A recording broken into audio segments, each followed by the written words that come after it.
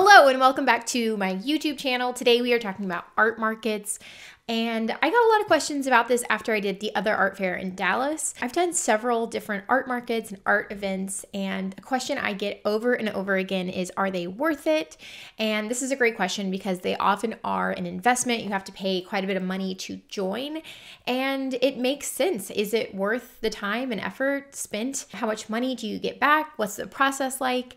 And I thought in this video I could answer some of those questions. I will say this is more of a my perspective type thing. If you want to do more research, I would look into the organization that you're wanting to show work with and ask them for their numbers.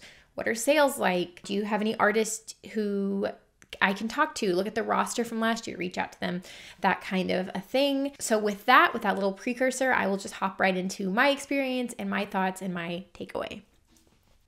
So, first, I want to talk about my experience. I did some footage from the other art fair, so I thought I would share some of that with you guys, and that way you can kind of visualize what it's like. Again, I've done other art fairs, I just made sure to document this one a little bit better. But basically, it was a four day art fair, which means it took place over four days. Of course, the preparation took much longer. To sign up, you had to get approved. There was an approval process, and I submitted the body of work that I wanted to show. My most cohesive body of work at that time was my teenage still life and uh, dollar store painting stuff that kind of went along with that.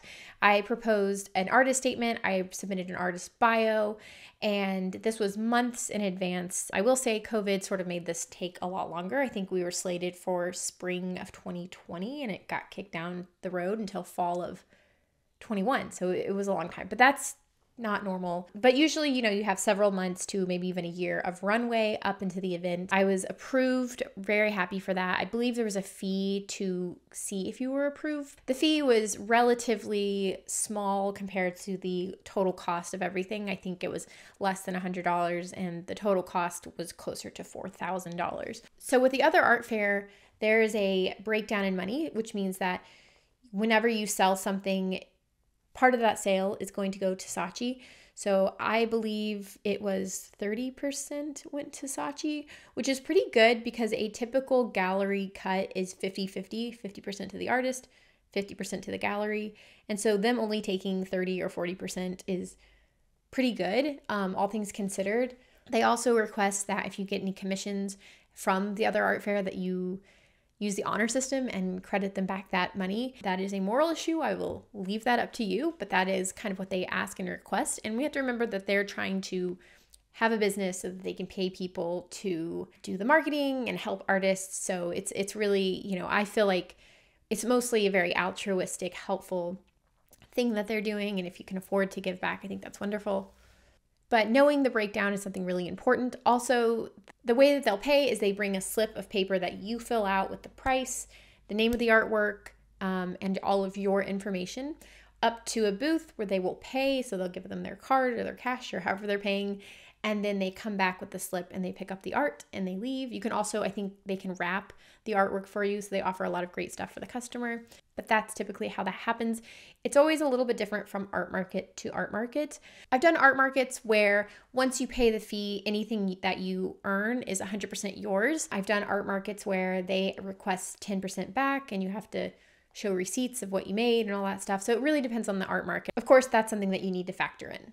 So once you're approved, you then get to start to choose what kind of booth size you want, how you want your setup to look, and everything like that. They have, um, usually when you do these art fairs, they have some people who it's their job to help the artist establish their booth and figure out what they want, paint the walls if that's something that you want, and really just help you get things set up.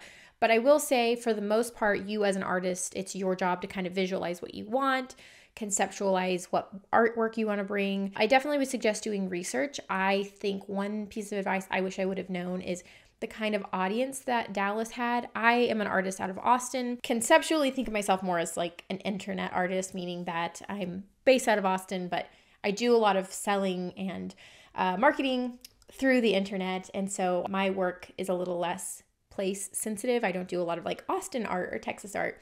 I think I wish I would have known Dallas was kind of a hub for interior designers, and also Dallas has a little bit more of a older slightly more conservative in the sense of artistic taste, you know, more muted colors and sunsets and landscapes, less ring pop paintings. so I wish I would have done some research because I think I would have brought a different body of work. That being said, that being said, I still think it was a pretty cohesive body of work and I will go into other reasons I'm glad I picked that body of work later, but if my main objective was to sell work, I definitely would have tailored what I brought to the Dallas market a little bit more. So the next thing I did when I started to conceptualize what I wanted my booth to look like was I had to pick out my sizes. And this is usually where the initial payment starts to come in. With the other art fair, you did a initial payment and then you did a final payment. I believe it was broken up into two. I do think there may have been other payment plans, but that was the one that I chose to do. It was kind of weird though because with the other art fair, the situation I had because of COVID, they kept refunding and then they retake it out, which can be really stressful. Another piece of advice I would suggest is try to stay in communication. We had a group email thread and the payments were kind of weird and so people were able to use that to get in touch with Saatchi and figure out what the payment was doing and help people people pretty informed. So another piece of advice I would have is to try and stay in contact with people as much as possible. But that shouldn't normally happen. I think that was really COVID times were sort of making all of this more complicated than it needed to be. Um, and also, if you're operating on more of a budget, that's going to be obviously more important for you to know. Again, I'm going to emphasize staying communicate with people running it.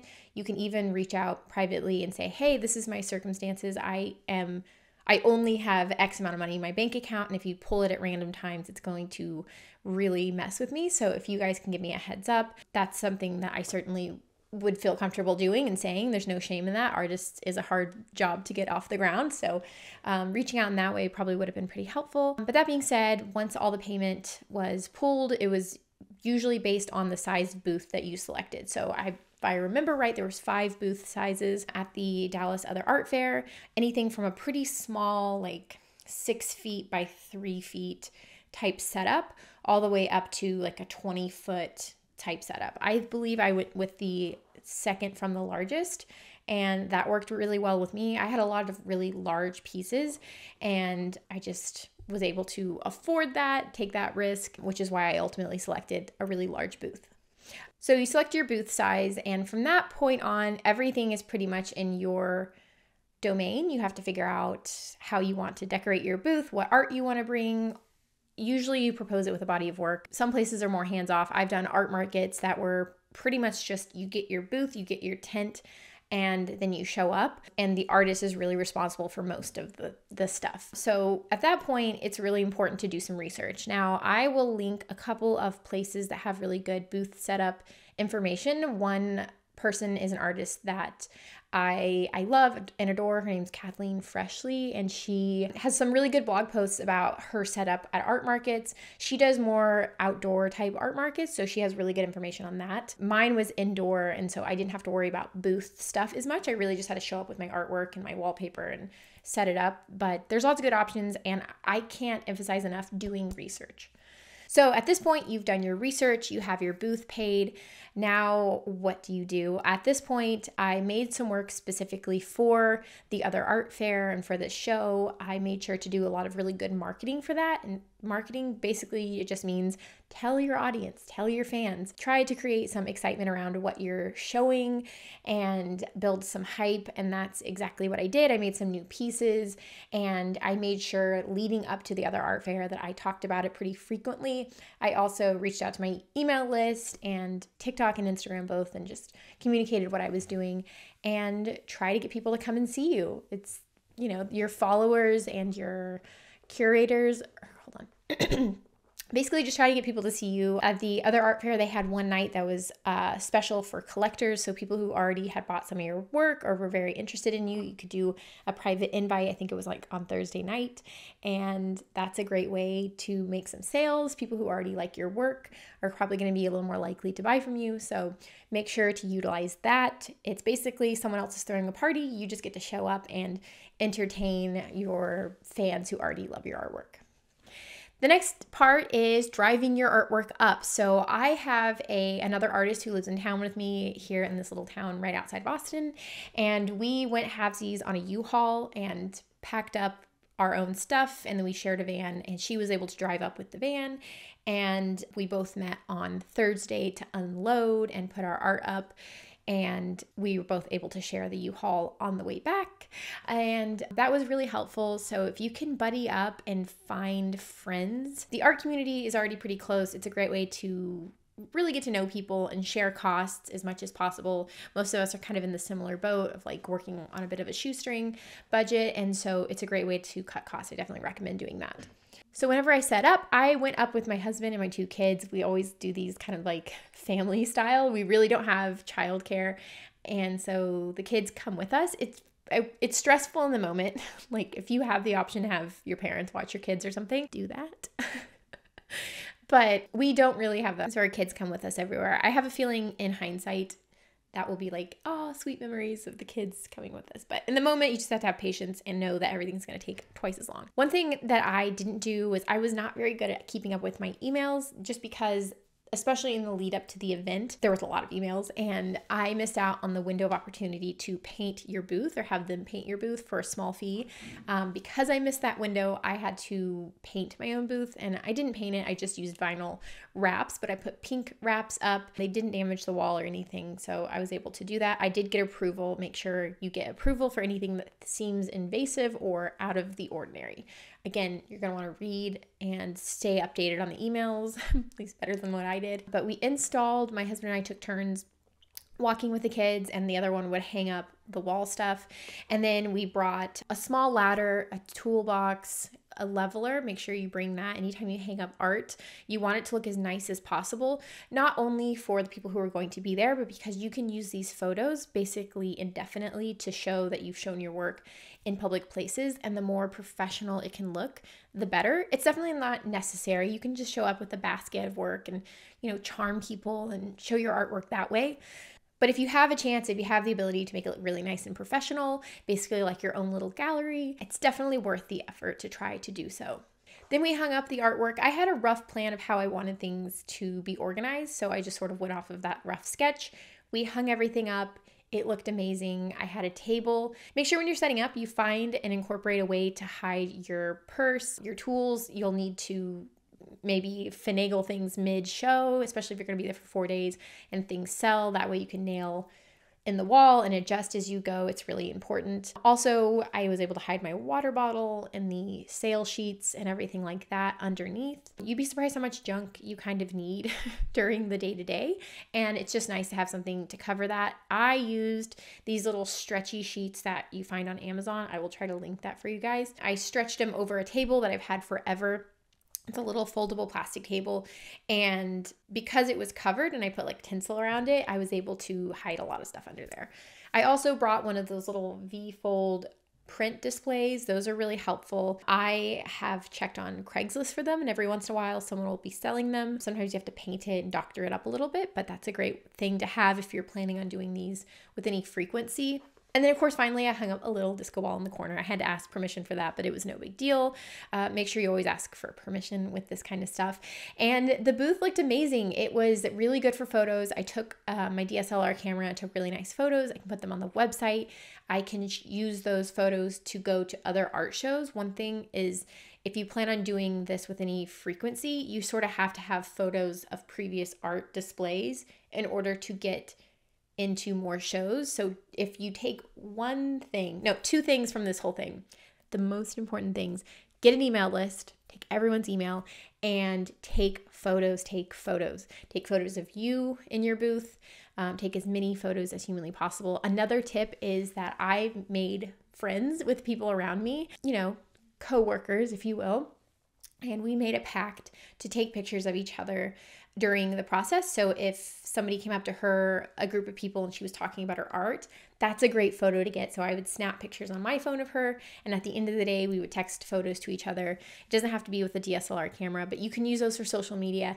It's really helpful. I am a shy-ish person. I don't like to ask people for favors, and especially if I don't know them very well, but it was worth summoning the the courage to ask for that because now I can use those photos forever. All right, let's talk a little bit more about the day, any tips, what it looked like. So, after I set up, then I had 4 days and the days were pretty long. They depended on the day, the hours were slightly different, but they were between 5 and six seven hour days. So make sure you wear comfortable shoes. You know i you're spending a lot of time on your feet. I had a little bar stool but i still ended up standing and talking to people 90% of the time.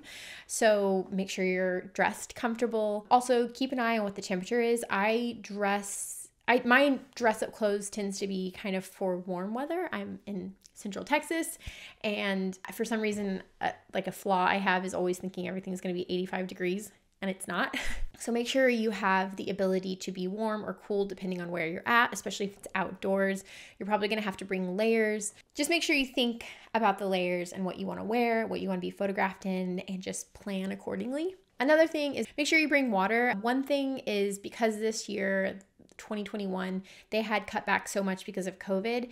They usually had like a pass for artists to get lunch and to have waters. They did not have that this time around, which is fine. I never expect stuff like that. But make sure you bring your own water bottle because there was nowhere to refill water. You had to buy water and it was like pretty expensive. So make sure you plan accordingly. Make sure you have a way to get food. My husband was able to go and get me food. But if you're doing this solo, that might you may have to leave all your artwork to go get food. And if that's something you're not comfortable with, make sure you find a way to arrange that.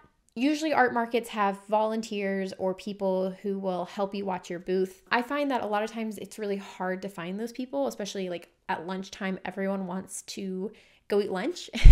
so I never plan on that. I sort of hope for that, but I find it's better to sort of make plans in case that doesn't happen because that's actually a pretty challenging process, at least from what I can find. Or that can be a pretty challenging process, or at least it has been for me. Maybe I should speak up more. Who knows? At the other art fair, they also gave us a guarantee that the place would be locked up and safe and that your artwork would be protected by them. So I felt safe leaving all of my artwork there. Of course, I took my wallet and all of that stuff. Mm-hmm. If you're really nervous about your artwork getting stolen, let's say you are have art that has really high end stuff built into it, maybe it's like diamonds or gilding or I, I don't know, I'm totally spitballing. You know, maybe look and see in the contract what the insurance policy is like for that. If something does get broken or stolen, are you responsible for it? Are they responsible for it? I am not the most responsible person in the world, and so I have no clue what that policy looks like. But I do remember getting an email that they said that they guaranteed. So if you're more finicky with legal stuff, definitely look into that. But they said that they would watch everything. I didn't have anything stolen. No one I knew had anything stolen. But that's something so you can keep all your stuff there overnight. Not every art market is like that. I have gone to some where I took all my work with me in between the days. Make sure you just account for that. That's a really hard process. So it's a lot of work. I'm usually sore after these things. This leads me kind of into my next point, which is morale and what are your goals and things like that. So I'm bringing this up now because it was by day two of three that I was starting to realize that perhaps I wasn't going to sell anything. Usually, art markets I go to are much more successful, but I, again, to my earlier point, I brought a lot of pink and girly and teenage to an art market that was dominated by older. it just wasn't a demographic fit. I had a lot of people come up and, you know, a lot of artists really liked my work. And I think it was still beneficial because as an artist, it's your job to sort of show up and go to these things within reason if it's something you can afford to do, especially if your primary domain is online, which mine is. So for me, even if I didn't sell a single thing, which I didn't sell a single original, it would still be a benefit for me to show up in physical spaces. That's something I really have to work at as an artist because so much of what I do is online and it's definitely a goal for me to show up and be real and be in person and show people that I'm not just cranking up the saturation on all my work, that it's really big in real life and that it really is that bright. And so doing these art markets is a great way to sort of show that. For me, the cost was worth that alone. I will say, in terms of morale, another thing that's really great is you get to do a lot of really good networking. So much of being an artist is so lonely, so isolated that getting to go and feel like you have coworkers again and that you're rubbing elbows with people who have connections and are excited about your work. That was really exciting for me. I don't know if I would pay $4,000 just to feel that by itself, but it definitely was worth a lot to be able to do that. And, you know, I knew some of the people who were already there. I got to meet lots of new, and I have continued to get benefits from those encounters. And, you know, an art career is a long game. You really benefit from knowing and making good relationships with people over the years. It's less about what can you do for me right now this year and more building those authentic relationships and, you know, admiring people and learning how to work with each other and help each other in an authentic way. So, I know that sounds really fluffy, but it's it's incredibly important. I am not a spectacularly good networker. I just really struggle with things feeling not authentic. But I find that art markets are a good way to rub elbows with people who share similar themes and ideas and interests as you do. And so for me, marketing is easier that way versus just DMing people on TikTok and Instagram and just that kind of networking has always seemed kind of skeezy. Now, I'm not saying like don't feel like you can't reach out to me, but me with a big platform reaching out to someone to want something just feels I don't know not sincere. so, for that reason, I think networking is really important. And that's just with the artist. I will say networking also with people. Plenty of people came up to me who were in art adjacent businesses like designers and things like that. And we exchanged business cards, and they're now subscribed to my email list. And, you know, you never know if those relationships are going to turn into something. I will say most of the time when I do art markets, I also will procure commissions from it. So people who come by and they like my work and they want me to paint something a little more specific to them. And commissions are great. They are a wonderful, consistent form of income. So even just that aspect alone usually pays for itself. Again, I don't think I was a good fit for the Dallas market, but I still don't know. You can, I mean, it's not unlikely to hear from someone two years later and say, okay, we're ready to buy something now. I mean, art is expensive and people aren't always ready to throw down, you know, $5,000.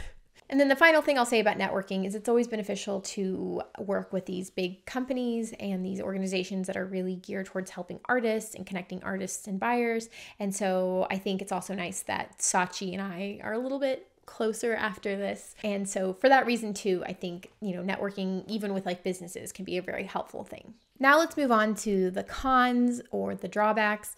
So specifically with the other art fair in Dallas, I think part of what happened was really affected by COVID and the protocols and specifically moving it down the road several times. From what I can tell, being someone who's online and releases things, that that can really hinder excitement. I also believe it dug into the budget quite a bit, which of course all those things are going to affect turnout and your experience. So I feel like I can't make a full assessment on what the other art fair is like. I will say I'm probably still going to do another art fair. I just probably will pick a different city. When I was talking to other artists, a lot of them said depending on the city is it really changes your experience.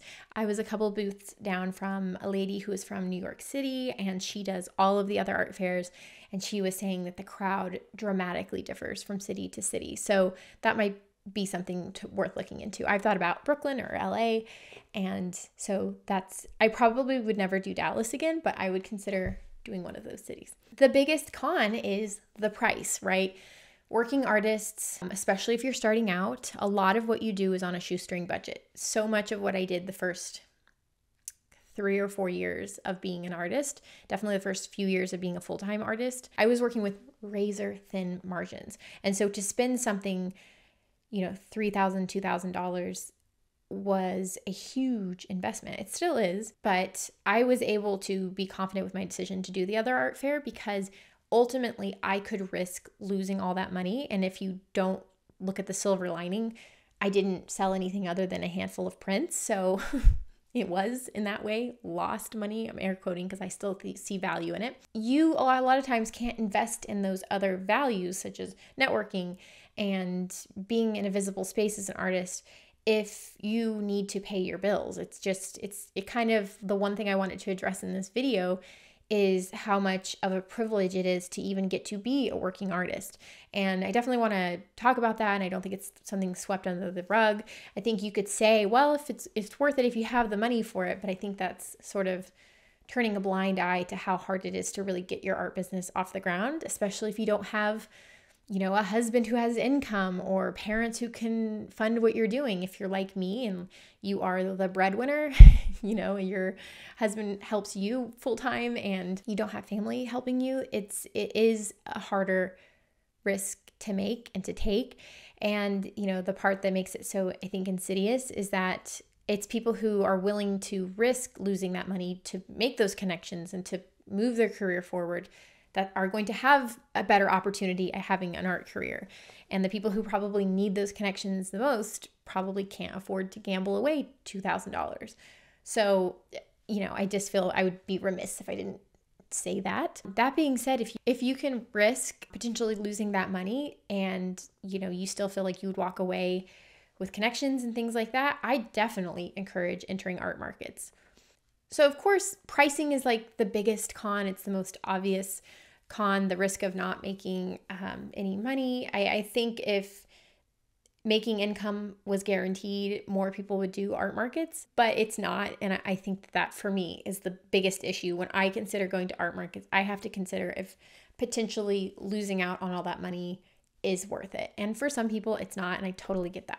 It's time intensive. Um, that is a full week that I was not able to paint. And I that really affects me because I do so much on social media and I have to produce content. It is nice to take a week off of making artwork, but um, obviously that's something you have to think about. Another con is that it's pretty labor intensive. So I am fortunately able bodied for the most part. And so I am able to do a lot of heavy lifting and moving. And my husband was able to help me. And so that was something I didn't have to think too much about. But if you struggle with chronic illness or you have any disabilities, that's going to be a challenge. Of course, always feel free to reach out to the people running the organization to see if you can get any help or assistance. I would assume most good quality organizations have a way to help disabled people. They should. That should be a guarantee. But it's always worth asking and reaching out, especially before you pay, just so you know. And the last con is kind of, I feel silly including it, but I'm going to include it anyways. You will get a lot of really good feedback. For the most part, people who are excited to go look at art are going to go and be happy and get to look at art, but not everyone is happy. like for sure. I should know this from being on the internet for so long. And people will say some pretty out of pocket things to you. So you just have to prepare yourself for people to say potentially unkind things and hear that. I don't think I've always been in a mental state where I can hear that a lot. So I have to personally space out my in person events because of that. And especially art markets. I notice that whenever I do gallery openings where I have like a group show or something, people tend to be a little kinder to you or like say less out of pocket things. But something about being in an art market, people look at you less as an artist, more as a vendor. And think it's interesting, says a lot about our class system in America, but I find that people say more out of pocket stuff when you're in that setting, which is really interesting. And, you know, I definitely had people say some things that I, I, I mean, I'm just really sensitive. But if you're sensitive like me, I feel like you would want to hear this. But I had people say some things that were pretty out of pocket and definitely hurt my feelings for a little bit. You know, at the end of the day, I love what I'm doing and I'm pretty happy and steadfast in what I'm doing. So it doesn't affect me too much. And luckily, the artists around me, we kind of commiserated. But, you know, if you go and show pink, bright pink, colorful things in a city like Dallas, you're you're gonna hear some you're going to learn why people don't like pink, pink very much. So there's that. okay. I hope that was helpful. I hope that gave you guys some insight into the other art fair, my experience. Again, this isn't a video that answers all the questions about art markets. It's just kind of my opinion, my insight. It's a starting point if you're doing research. I'll try to remember some of those links down below and maybe you can keep looking there. The gold standards is always going to be to reach out to the company that's doing or the organization that's doing the art market and then reaching out to artists who've done that market in the past, that's going to be your gold standard. They're going to tell you a lot about the customers and what it was like in the previous years, although that's not a guarantee. The other art fair Dallas I went to was the second year of them doing that and apparently the year couple years prior was very very very successful and this year wasn't as successful. So, you know, do your research and make sure that you're willing to make that financial gamble. And if you feel like you can't do art markets yet, don't feel too bad. I don't think they are necessary in being an artist at all. It's just a feature, it's just an option that you have, but I think it can be a pretty good option. So, thanks for being here. I hope that was helpful. Have a great rest of your day, and I'll see you in the next video.